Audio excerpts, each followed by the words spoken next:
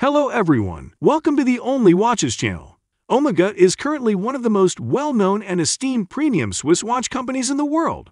The brand's horological history dates back to the late 19th century. It continues to combine its legacy with innovation to produce some of the finest watches on the market. Today's video will go through the top Omega watches that you can buy this year. Additional product details can be found at the links I've provided below. So without further ado, let's get started.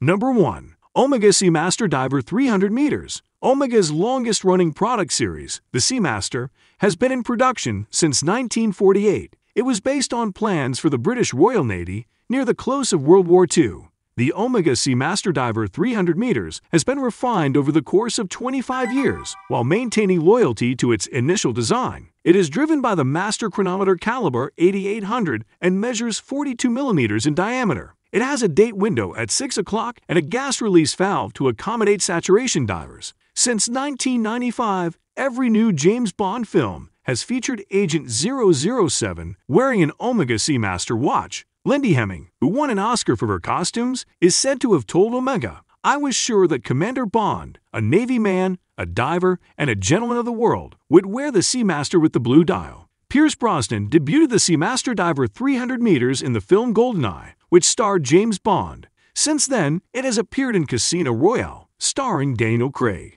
Number 2.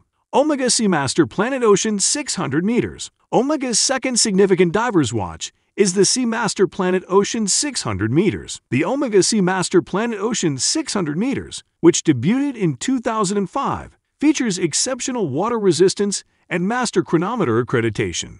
The movement can withstand magnetic fields of up to 15,000 Gauss and passes eight tests done by the Swiss Federal Institute of Metrology, METAS. The indices, hour hand, minute hand, and second hand are coated with superluminova, which makes them glow in the dark for greater visibility underwater or in low light circumstances. The Planet Ocean 600 meters is another Seamaster that has been in recent James Bond movies, like 2000 and 8's Quantum of Solace.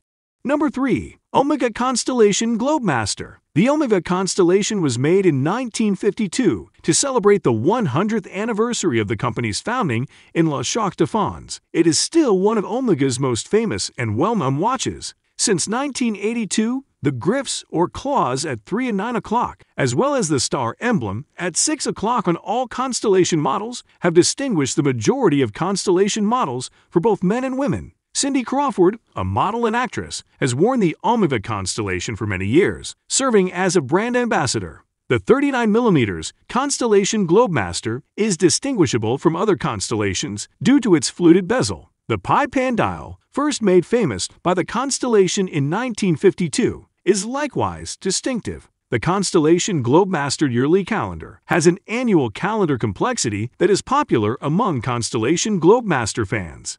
Number 4. Omega Coaxial Master Chronometer GMT World Timer. Now for a watch that is not designed primarily for diving, but rather for traveling the world. This timepiece retains the Seamaster trademark, but is now known as the World Timer.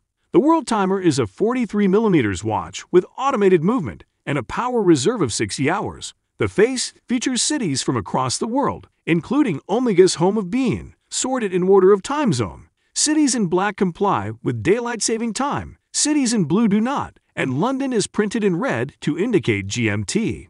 The dial of the watch is made of sapphire crystal. In the middle is a handmade enamel map of the world, and around it is a 24 hour display. From December 2019, the World Timer is available in different colors. A platinum version with a brown leather strap will be limited to 87 pieces.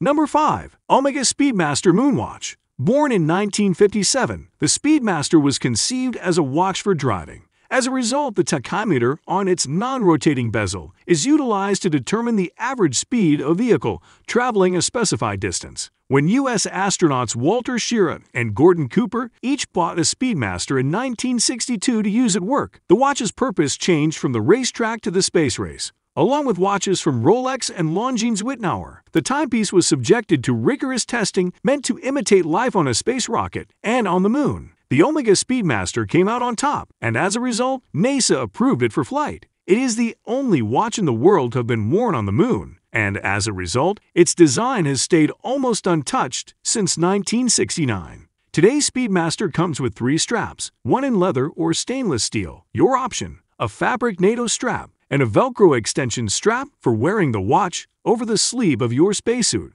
If you guys like this video or this video helped you, please give the video a like. Links to all the products mentioned are in the description below. If you are new to the channel, hit that subscribe button. Till next time, I will see you guys later.